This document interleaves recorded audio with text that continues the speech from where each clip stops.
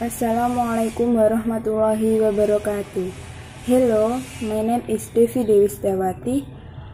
Here video this I will explain about at the foot of the mah.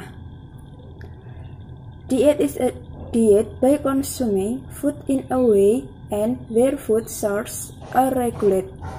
The point is to maintain the overall health of the body. Therefore, here I take diet food for ulcer disease.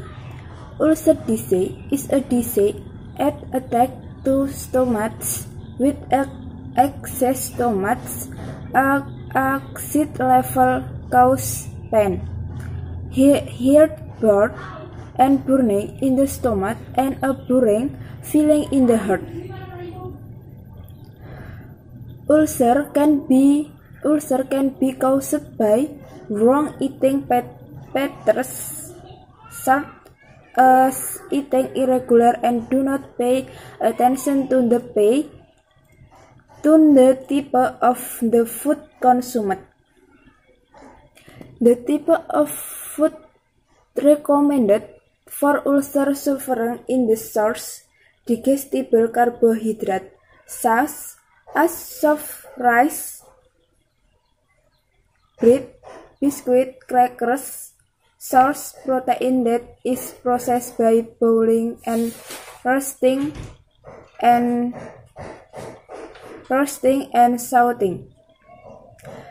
Vegetables that do not contain gas and not a lot of fiber such as spinach, chayote, carrots, non-gas fruit like papaya, banana, pears, drink like tea and milk.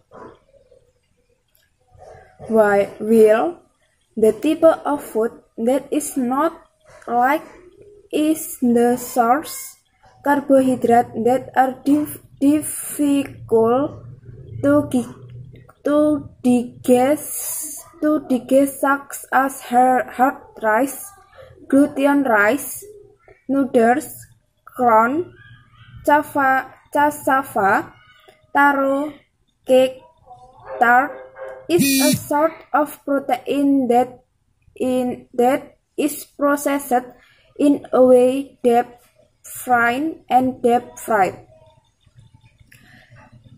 Sardines, corned beef and cheese, gas vegetable and lot of fiber such as cassava leaf, cabbage, cauliflower, mustard, mustard greens, fruit and fruit gas and high in fiber.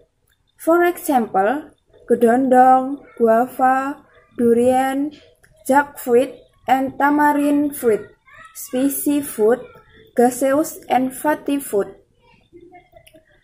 Tal, like tapai, chocolate, fried food, oval, and soft drink. Thank you. Wassalamualaikum warahmatullahi wabarakatuh.